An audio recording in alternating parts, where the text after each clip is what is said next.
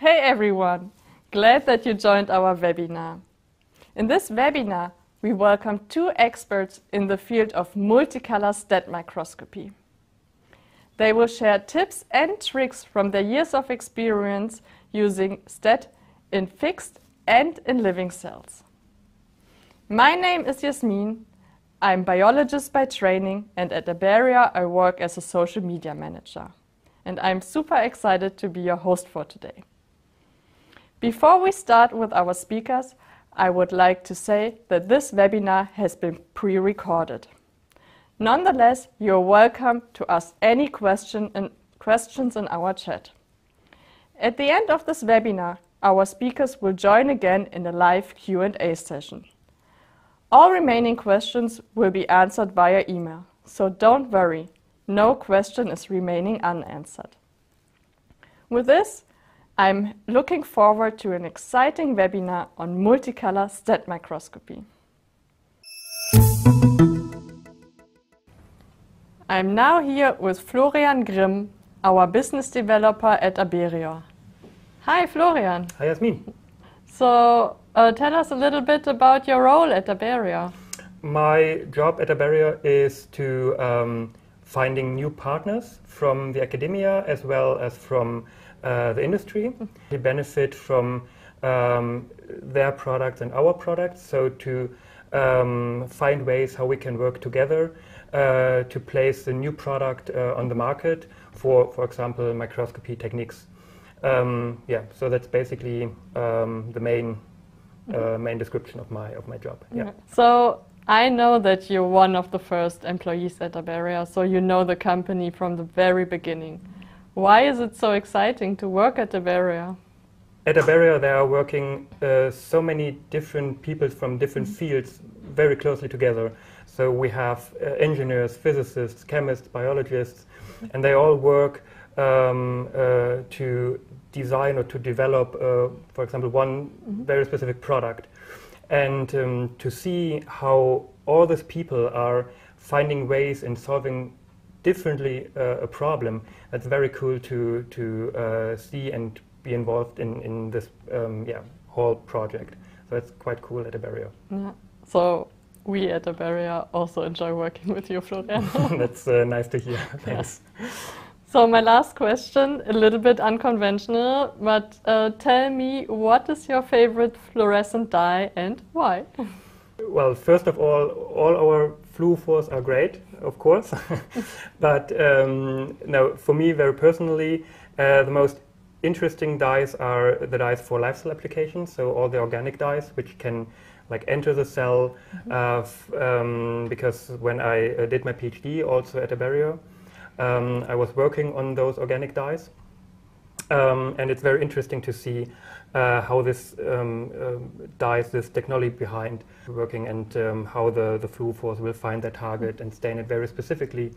Um, so for me, all the live dyes are very, very interesting. Or the coolest dye, mm -hmm. let's say, uh, is for me this LIVE 610 because it's performing all the time very well, and for STED microscopy, it's a, it's a very cool dye. Excellent choice. So with this, we are looking forward to an exciting talk on multicolor STED microscopy. Florian, the stage is yours. Thank you. Um, okay, so uh, I will talk about multicolor STED microscopy in uh, fixed and uh, uh living cells. And uh, during my talk, I will uh, show you how both companies, so abberior Instruments with the microscopes, and um, labels with uh, the probes and dyes are working uh, closely together, offering um, a very good product for super resolution microscopy.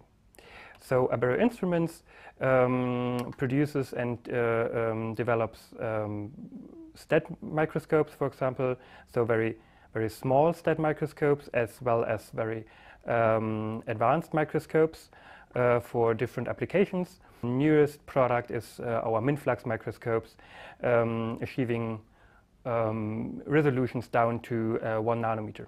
And from the fluorescent side, uh, we offer different categories uh, on, on Fluophores. So Fluophores, our star dyes, which are suitable for STED microscopy, the cage dyes, suitable, for example, for uh, Palm and Storm, um, our flux dyes for MinFlux microscopy, and our live dyes for uh, live cell application.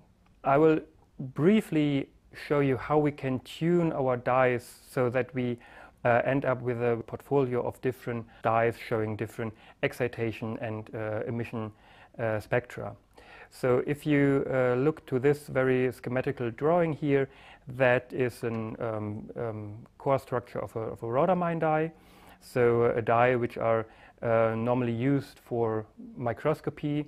So when we can add or exchange uh, groups uh, on this core structure, we can also replace uh, atoms inside those core structures to tune the dyes either to the blue uh, shifted region or to the red, uh, red shifted region. So as an example, this dye uh, shows an yellow emission. And when we now, for example, add oxygen to the core structure or when we add halogens to the core structure, then we easily shift the spectra into the blue region. Uh, another idea could be to exchange this benzyl ring by a nitrogen, and we end up uh, by a blue absorbing dye, but uh, also showing a very uh, long Stokes shift of roughly 130 nanometers to end up with a fluophore having this orange uh, emission.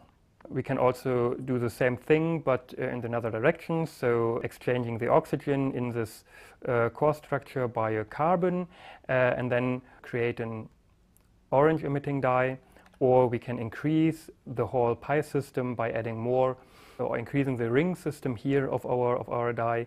We can also add um, halogens to the benzyl uh, ring and then um, uh, creating a dye uh, having a red uh, or even infrared uh, emission spectra.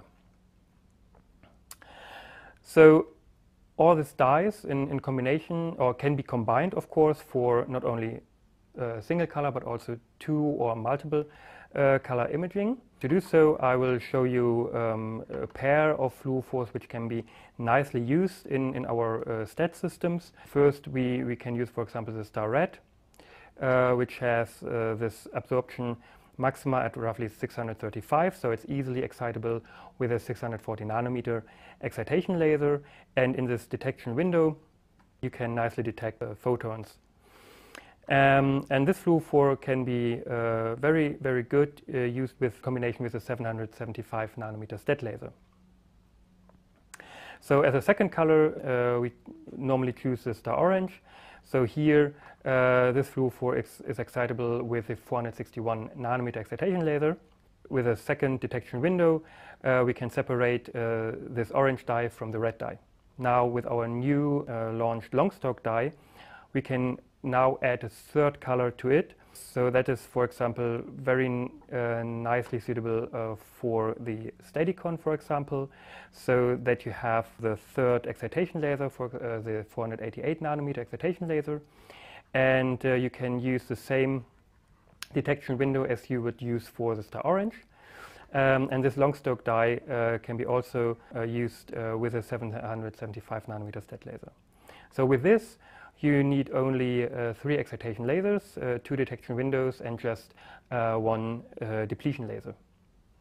So here's an example of a fixed uh, cell stained with these three colors. We stain the nuclear pore complex or protein inside the nuclear pore complex with star red, here shown in orange. And uh, then the vimentin structure we stained with star orange, shown here in magenta. And uh, in green, that's the tubulin filaments, uh, which we stained with uh, the long Stokes dye star 460L. So uh, just to give you a comparison of a confocal image on the left side and a STED image on the right side, you see the improvement in resolution and also uh, these three dyes are showing no crosstalk at all. So it's a very cool uh, three color package of dyes. We also can, can use this 460L dye for live cell applications. So this dye can enter a living cell um, as well. It's not only suitable for, for fixed cells, but also for living cells. So what you can see here is a living neuron. We stained the actin network with this 460L actin probe. For orange, um, we stained the, the tubulin filaments uh, with a 590 uh, tubulin probe. And uh, in magenta, you can see here the membrane, which uh, was stained with our uh, recently launched direct membrane probe. This STED image, I will zoom in a little bit closer. Here you can see again the comparison of a confocal image uh, and the STED image, and you can see the improvement in this uh, living neuron in, in resolution. And as I said, this combination of blue absorbing long Stokes dye, an orange dye, and this uh, star red membrane, this infrared dye, uh, is a beautiful package for uh, a three color live cell uh, application. So, um, with the uh, information from the, uh, this, the spectra information, we are quite limited. So, um, additionally to the spectra, we can also use second information, the lifetime of our fluorophores. So just by the spectra, we are quite limited, means that we can distinguish the red dyes from the orange dyes, but we are not able to, for example, distinguish these two orange uh, dyes from each other.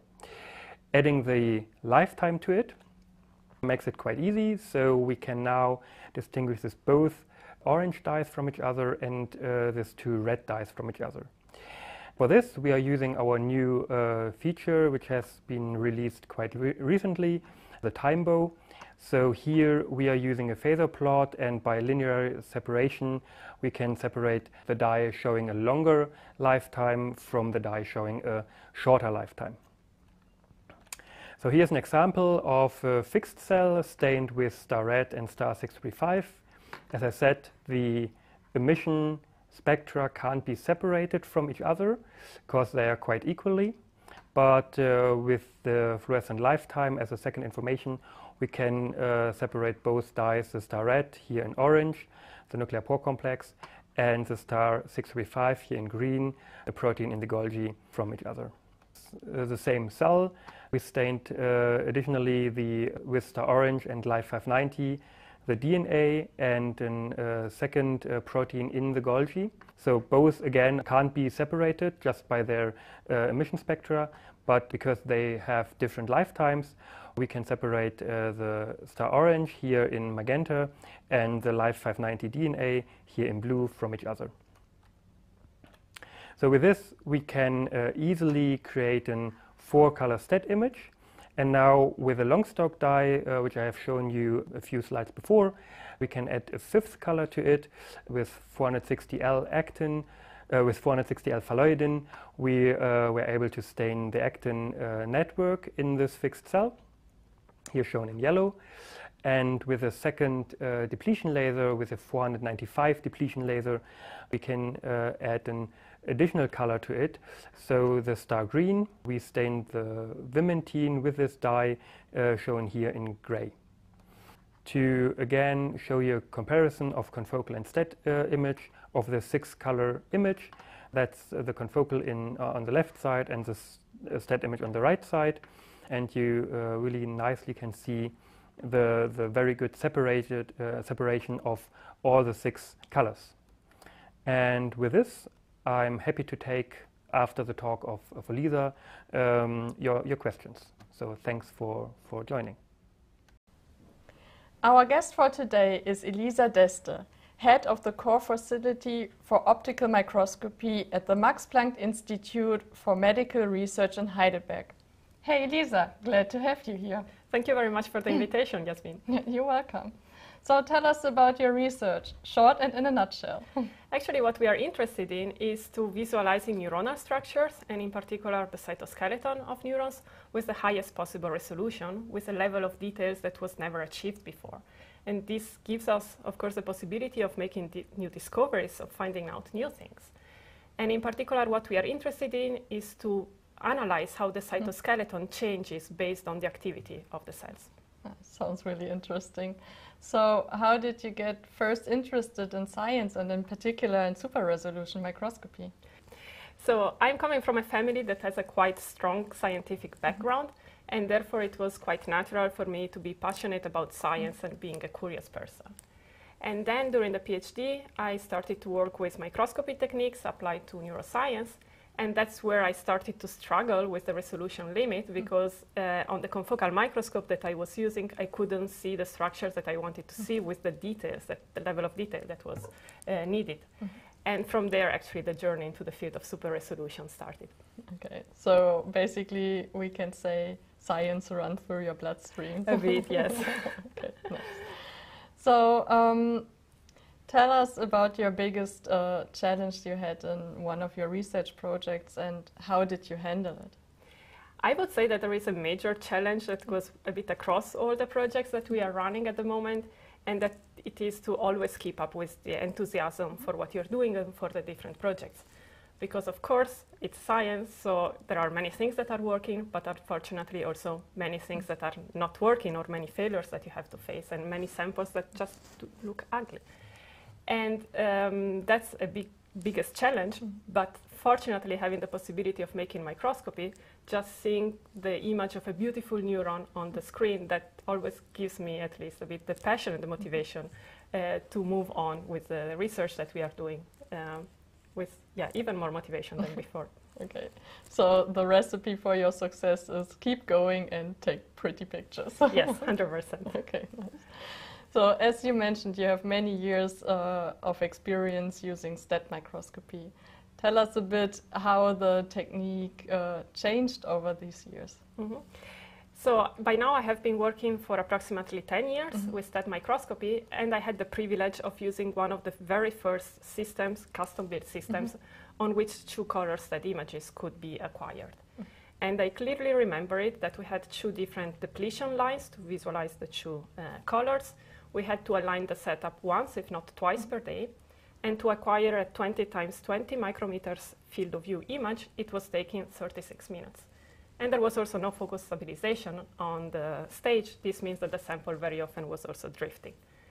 If I think that now, in the same amount of time, we can acquire a four or five color image in a 60 times 60 mm -hmm. micrometers field of view on a commercial system with focus stabilization, and we might even be running the experiment from home, I guess that's really a big improvement. Yeah, cool. So we can say these machines evolved quite a bit. Absolutely, yes. So with that, we are now looking forward to your talk on multicolor strategies for STED nanoscopy. Elisa, the stage is yours. Thank you very much, Yasmin.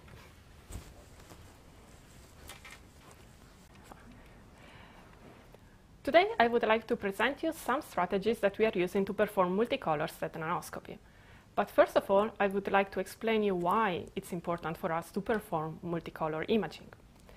The model system we are interested in are neuronal cultures, which are forming functional network and are interacting at the level of synapses, where we have an upstream cell that is sending the signal to a downstream cell.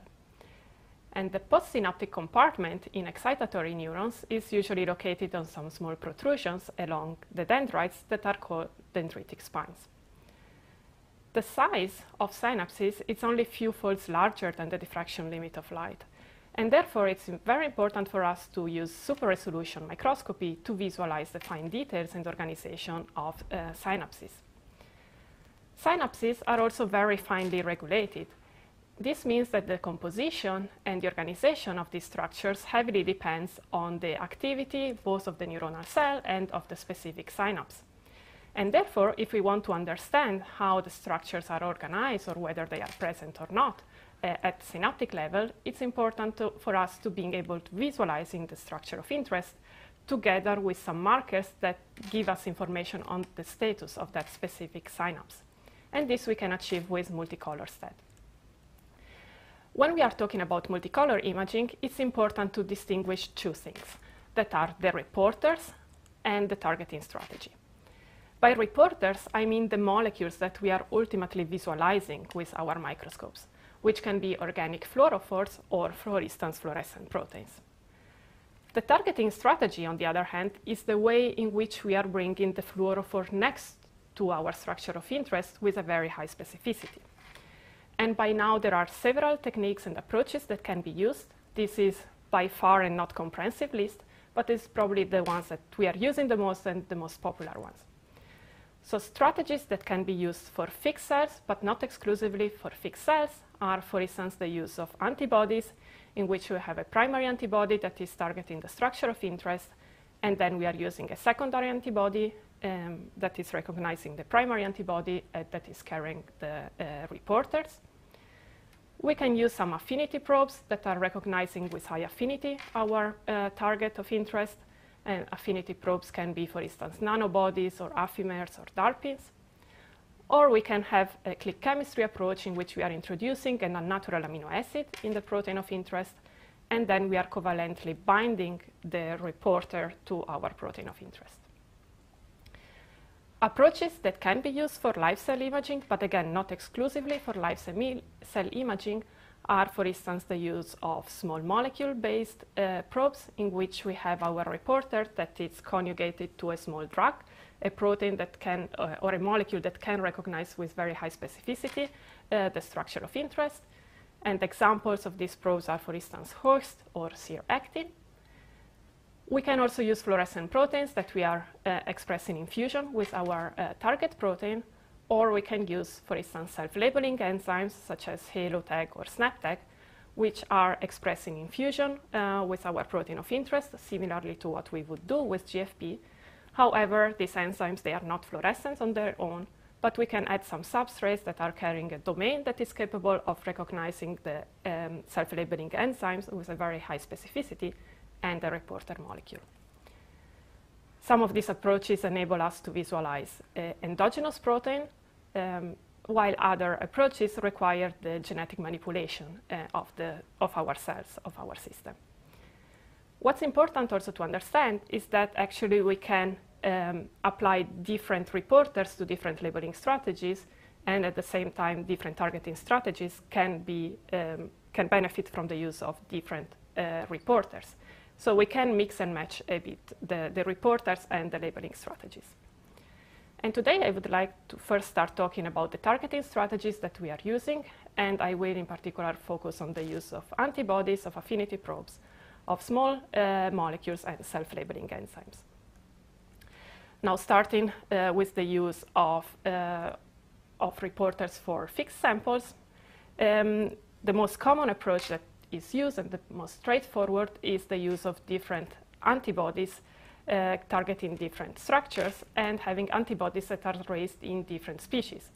For instance, we can have primary antibodies raised in rabbit, in mouse, or in guinea pig. And what we are doing in these cases is to first incubate our cells with a primary antibody raised in mouse and rabbit. Then we are using the secondary antibodies against these two species. And in a subsequent step, then we are using the antibody raised against guinea pig and its um, secondary antibody. And we are doing this labeling sequentially because we observe that sometimes there can be some cross-reactivity between the guinea pig and rabbit antibody, which we can minimize in this way. And here is an example of some hippocampal neurons in which we label two actin uh, binding proteins, adducin and uh, the branching protein Arp2/3, with antibodies raised against uh, in rabbit and in mouse. And then we had a synaptic marker, Homer, um, labeled using an antibody raised in guinea pig. Of course, now this approach is limited by the number of species um, that you can have in which the, uh, your primary antibodies are raised in, of uh, single domain antibodies or nanobodies. So if we have conventional immunoglobulins are, uh, for instance, that we have in humans, are formed by a heavy chain and a light chain the recognition of the antigen of the epitope is mediated by both the heavy chain and the light chain, and the heavy chain uh, is composed by three um, constant regions. The antibodies that are present in camelids and in alpacas, for instance, actually have a different structure, and in particular, they are lack lacking the, uh, the light chain, and they are formed only by the heavy chain. That therefore, it's the only uh, part of the protein that is responsible for recognizing the antigen. Furthermore, they have only two um, constant regions, not three. This means that actually we can isolate this fragment that is responsible for the recognition uh, of the target, and actually we can even produce it uh, in vitro um, as a recombinant protein. Now, an advantage uh, of using only this fragment uh, to label the structure of interest is also that this so-called nanobody or single domain antibodies is monovalent. So you have just one nanobody that, that can bind uh, one protein of interest. And uh, therefore, there is no risk of cross-linking different proteins. Uh, that is something that can happen actually when you're using uh, antibody due to their bivalent nature.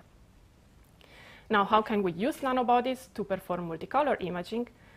Actually, what we are doing is to use uh, so-called secondary nanobodies, meaning some nanobodies that have been raised against some constant regions of primary antibody raised in different species. And what we can do is to pre-incubate, pre-coupled a primary antibody with a corresponding uh, nanobody, and then we are adding to our fixed cells the already premixed complex of primary and secondary antibody. And of course, we can incubate in two different tubes, different primary antibodies uh, with different secondary uh, nanobodies that we can then use in parallel uh, on our sample. And this is an example of an image that has been obtained using this approach in which we use two uh, primary antibodies raised in rabbit that have been pre-coupled with different um, secondary nanobody and nanobodies. And here we are seeing in particular an actin binding protein, again adducin, and the synaptic protein, synaptic marker Homer. And you can really appreciate how there is no uh, crosstalk between the structures of interest.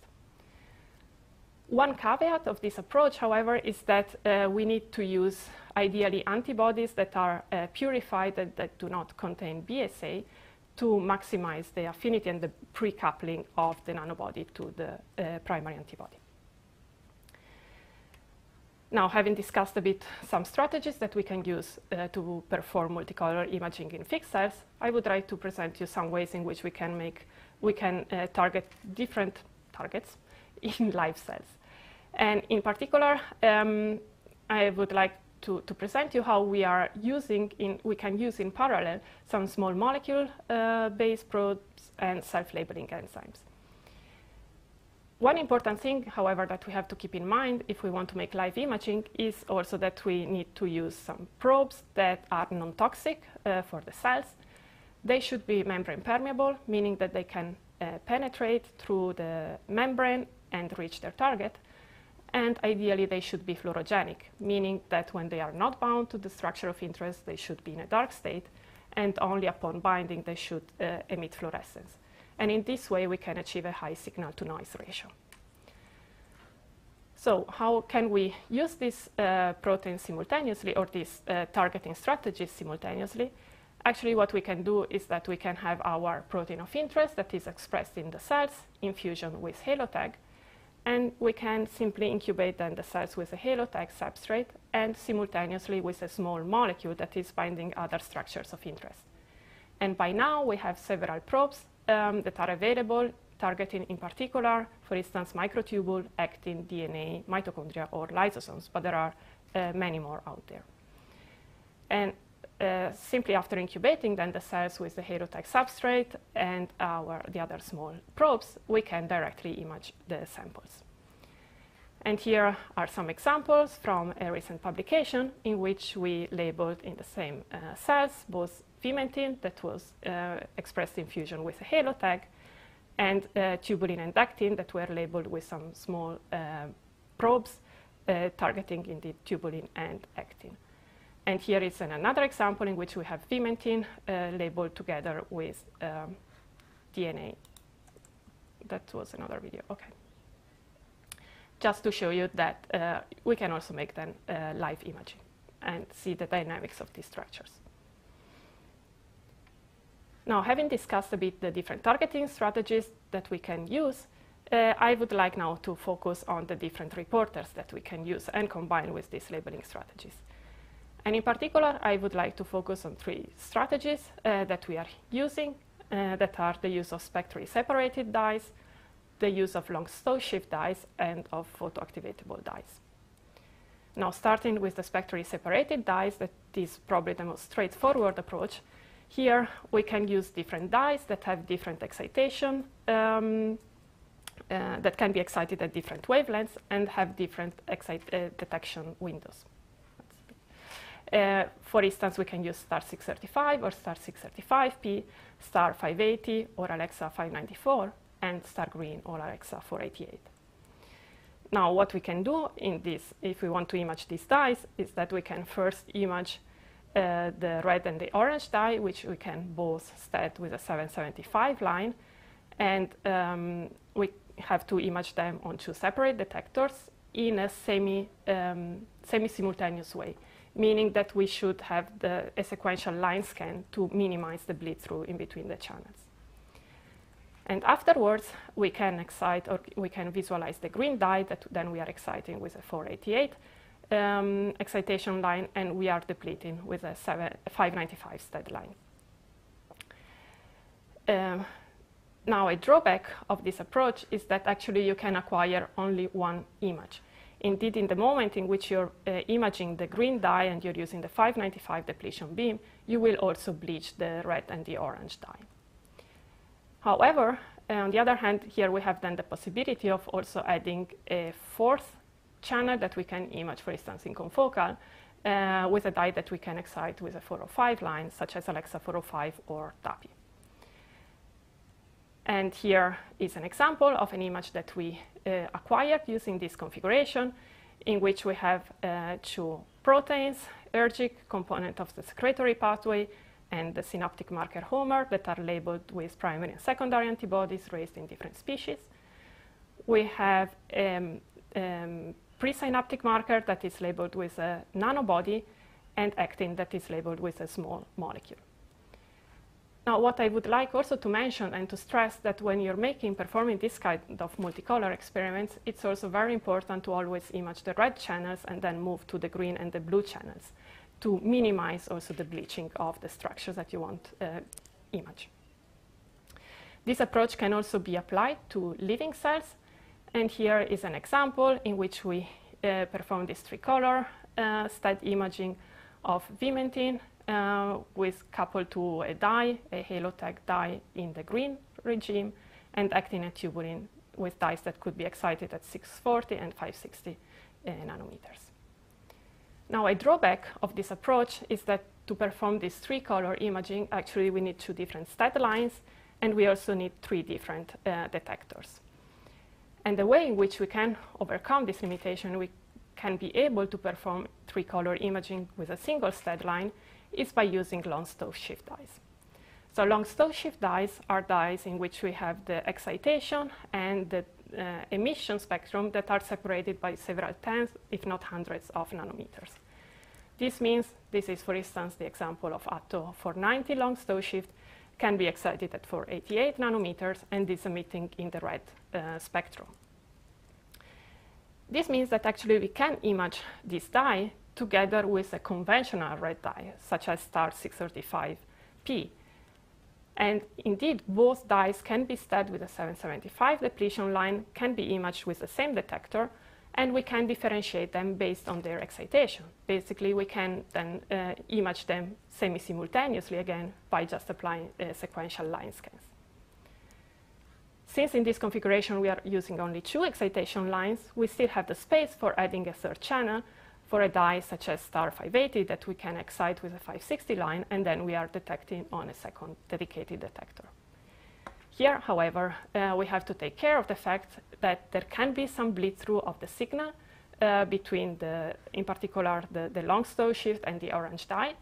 And this bleed through can be minimized or reduced by applying a mixing or simply by carefully selecting uh, which reporter you're using for which structure of interest. And here is an example uh, of an image in which we used this approach from a publication of some years ago, in which we used, uh, again, a synaptic marker and actin binding proteins that were labeled with primary and secondary antibodies. And then we labeled actin with a small uh, probe phalloidin.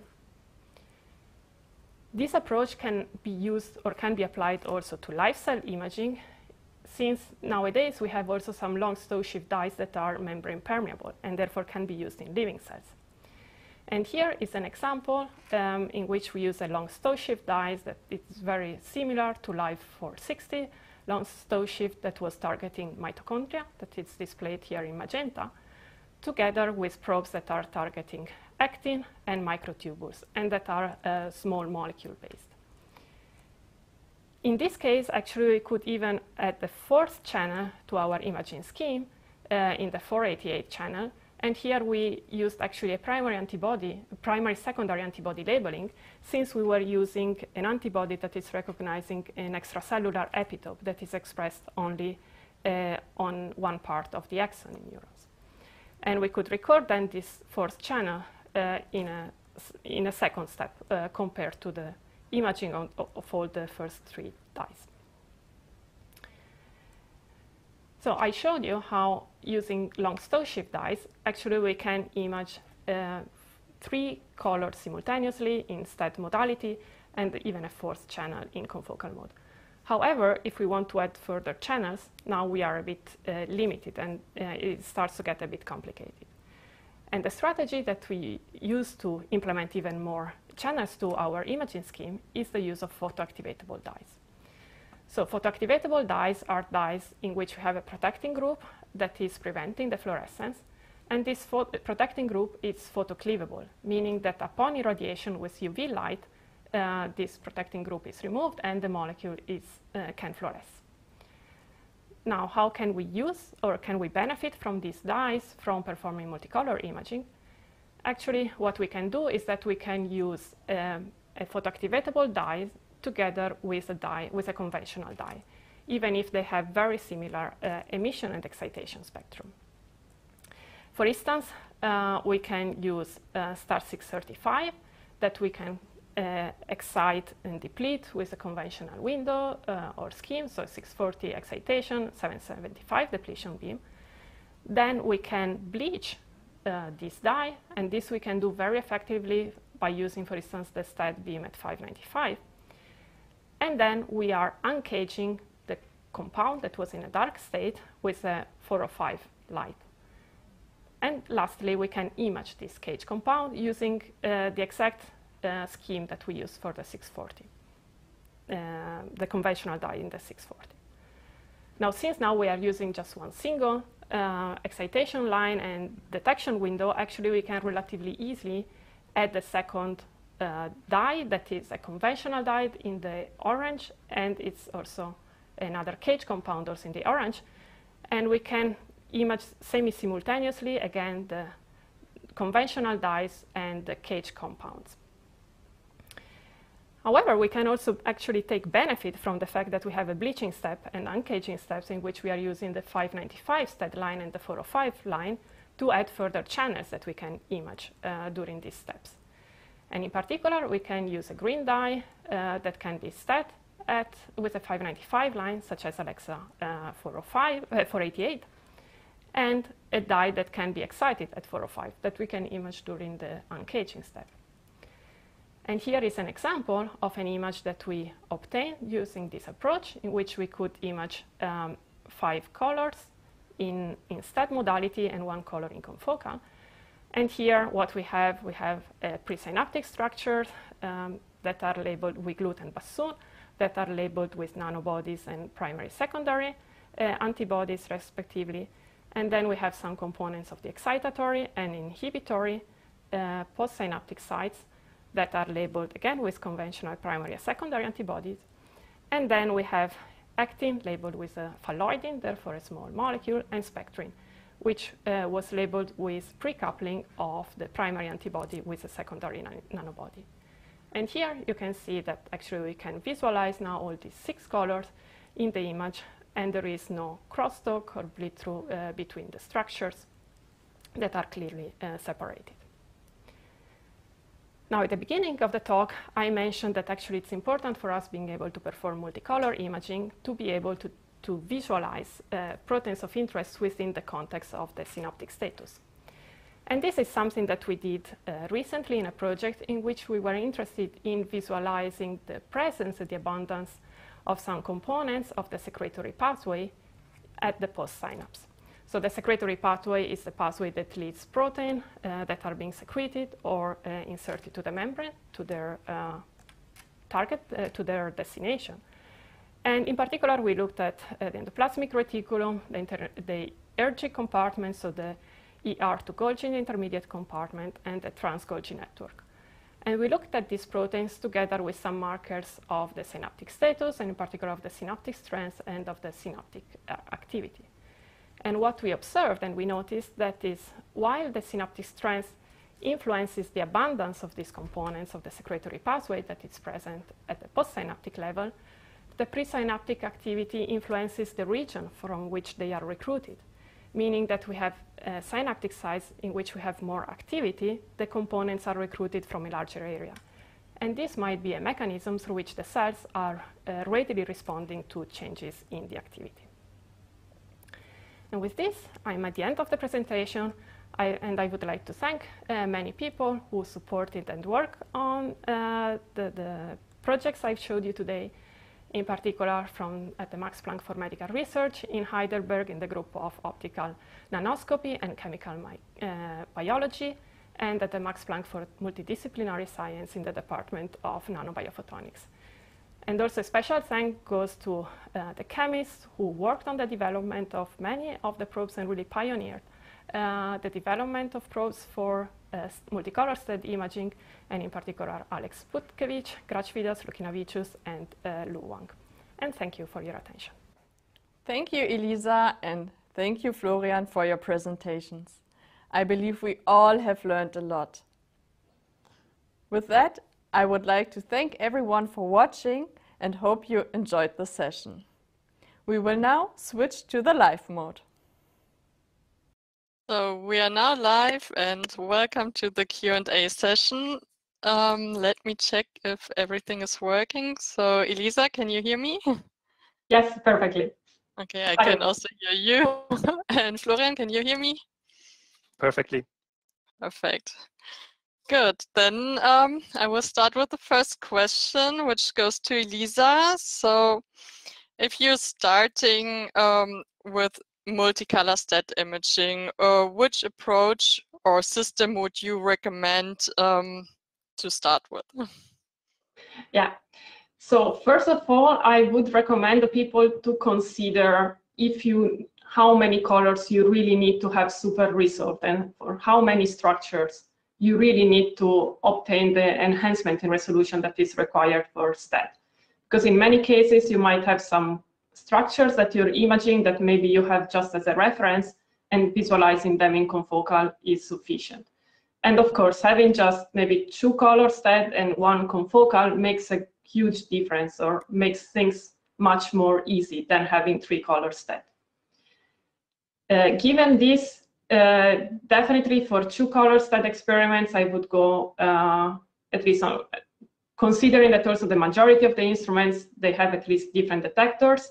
I would go for two spectrally separated detectors because you can get an immediate um, image that maybe doesn't require also some prior knowledge regarding the lifetime of the fluorophores on which we can be relatively sure regarding the separation and the signal that you're getting.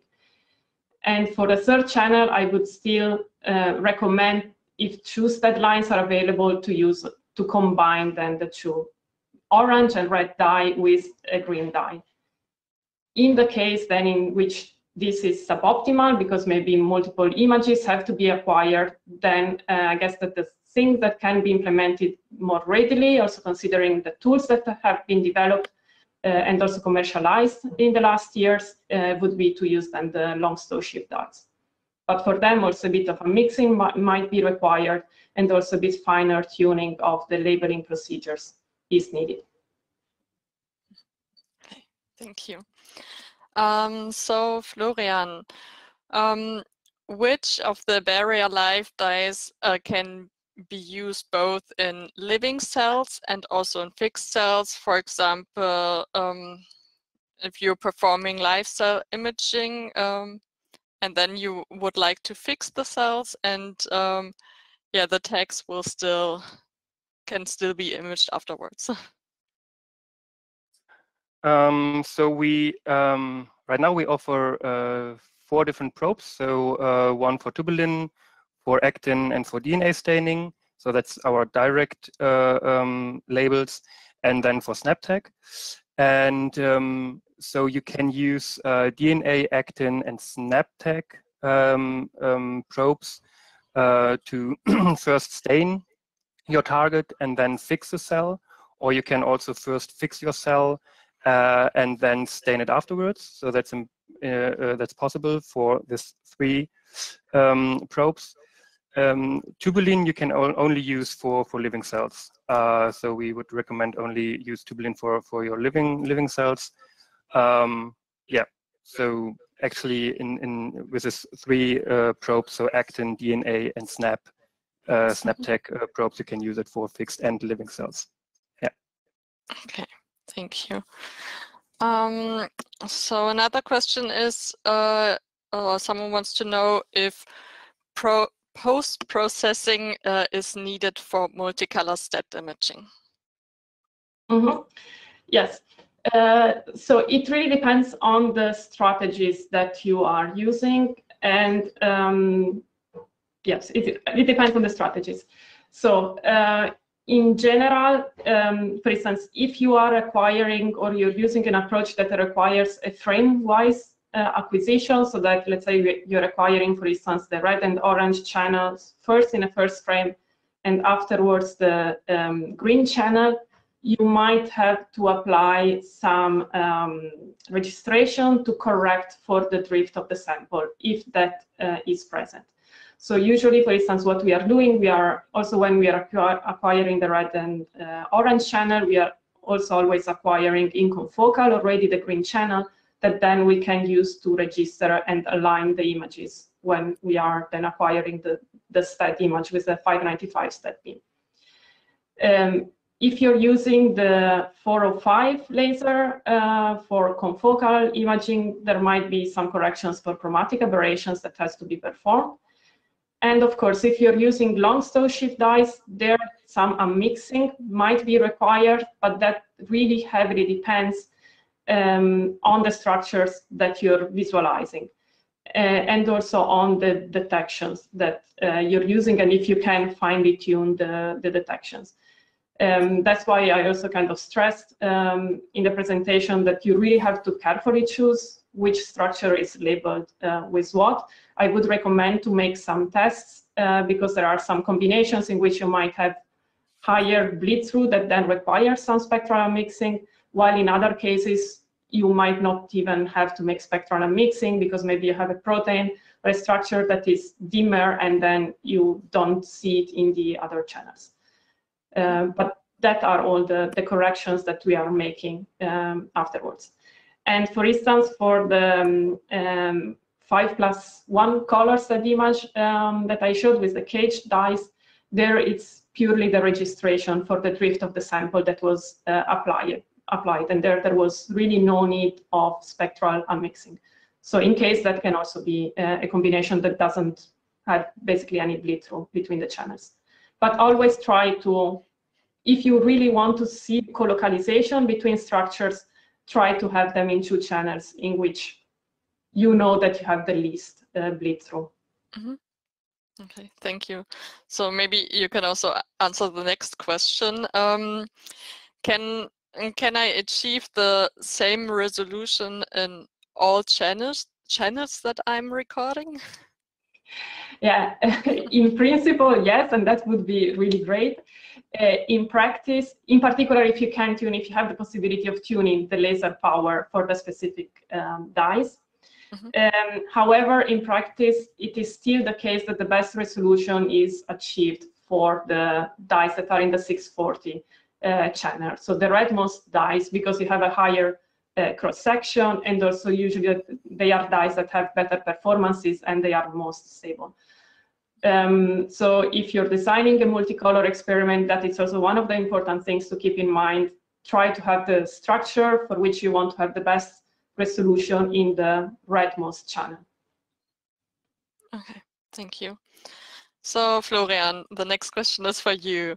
Um, to what extent must the lifetime be uh, different of the dyes uh, in order to separate them? Mm, so usually it's fine if the if the dyes have uh, like 0.5 nanoseconds uh, differences in lifetime. Um, that's fine enough. Um, it's always better to have a, a yeah, greater distance, like one nanosecond or even more, but uh, 0.5 nanoseconds would be also um, uh, fine to start with. Yeah. Okay, thank you. Um, so, and uh, in your presentation, Florian, you showed us a beautiful uh, six color image. Um, is it possible to have even more colors than six for um, STED microscopy? Well, um, yes, it is possible, but um, I mean, from the from the um, technical side, there's no problem. I mean, if you look to the to the microscope, you have your uh, three or four uh, detectors, and then you can separate also uh, your dyes by um, um, by your fluorescent signal or the, the emission spectra and by the lifetime. Um, and uh, also from the from the number of dyes which are available, of course, you have a lot of dyes which you can use. Um, we are mainly limited by the labeling strategy.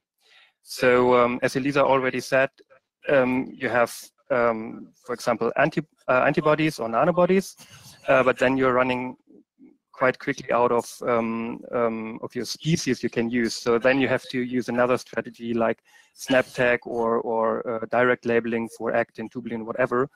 And there are also other um, strategies available like click uh, chemistry, click labeling. Um, so that is something we also are um, um, trying to to offer soon. So we will launch also those click probes um, having having an additional um, additional um, um, labeling strategy. So that is actually the main or the crucial crucial part here, uh, finding the best labeling strategies to get everything uh, nicely together, having a seven or eight color STED image. So in theory, it would be possible, but uh, yeah, um, the right uh, strategy uh, is needed for, for it. Okay, thank you. So um, Another question was if uh, we record this session, and yes, also the Q&A session will be recorded and will be uploaded um, within the next days on our webpage. So if you missed uh, some parts of our webinar or you had any problems with the audio, you can still download it um, and watch it again. So with this, um, Thank you for watching and thank you for your questions. Um, I hope you enjoyed the session. Thank you, Florian, and thank you, Elisa. Um, stay all healthy and see you at our next webinar. so take care. Thanks for joining. Bye. Bye.